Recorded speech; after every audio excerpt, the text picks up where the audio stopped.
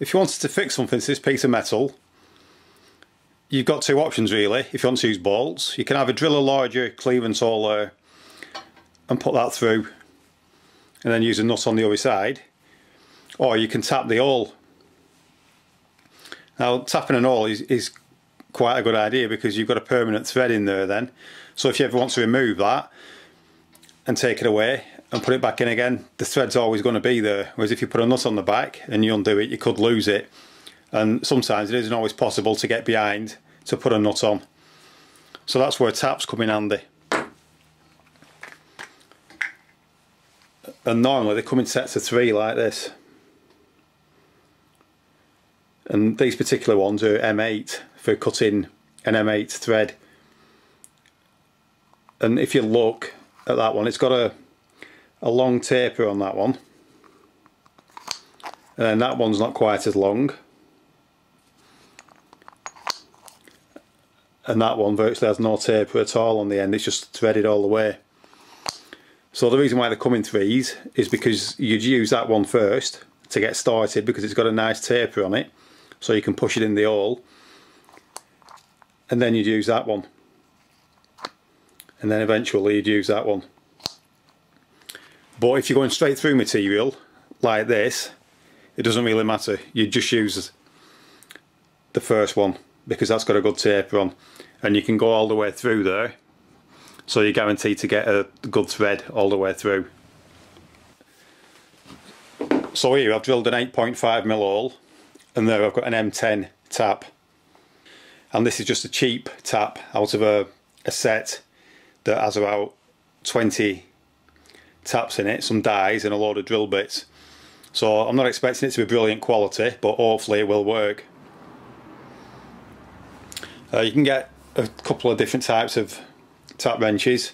This is a, a common type, and the T-bar type is also popular. And they both have squares at the end there to grip. So if you just open it up and put the square in and then tighten it and now that's gripped it. So now you can start tapping a hole with that. It's important that you get the correct size hole and in order to do that you'd normally consult what's called a Zeus guide and in the Zeus guide it'll tell you what size hole you need to drill for what size thread you want. So if you want, a, for example, an M10 like this, it'll tell you that you need an 8.5 millimeter hole, which is what you've got to drill. So we've got that fastened now in the tap wrench. So we're just going to put a bit of uh, tapping fluid on there. You can use normal oil if you want for doing this, but it just makes it go through a little bit easier. So you need to position the tap in the hole and then you need to start turning it in a clockwise direction trying to keep it straight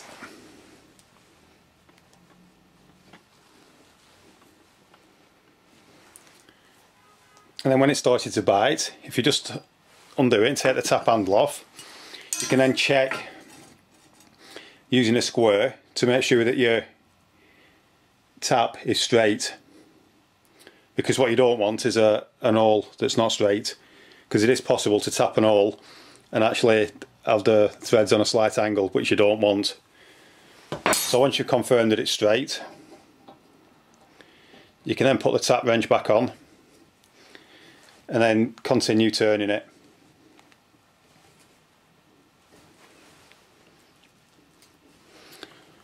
and then when you've done a couple of revolutions you need to turn it back a bit to break the chip off and then you can continue.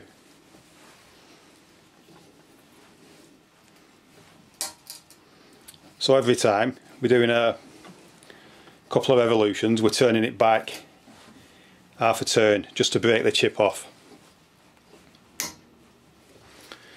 And then we'll just spray a bit more tapping fluid on there.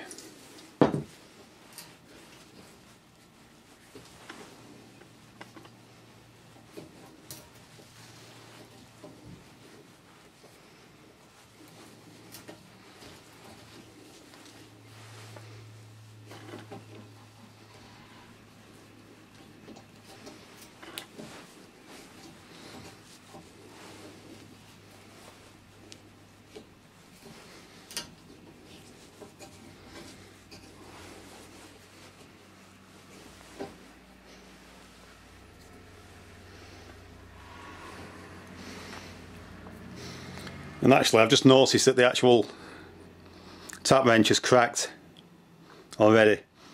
And I do have the thing me about buying cheap tools. I never buy cheap tools. And that's one of the reasons why. The waste of time. So we'll just persevere and see if we can get this all tapped in this steel using this cheap tap wrench and tap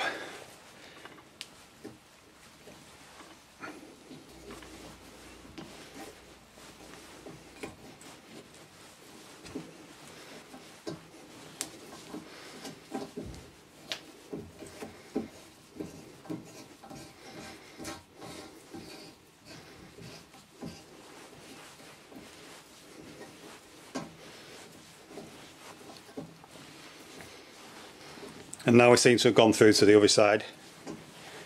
So we're just going to take it all the way down just to guarantee that it puts a good thread in there. Once you get through to the other side of the material there's no need to turn it back again like that. Just keep going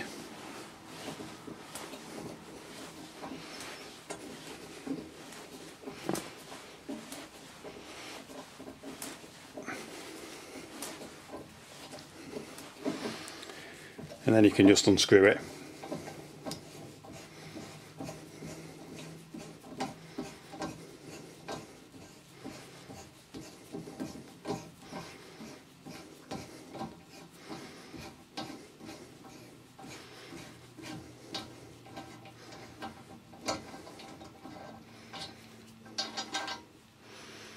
So you can see that there's a thread being cut in the steel now and there you go we can now screw a cap head bolts in there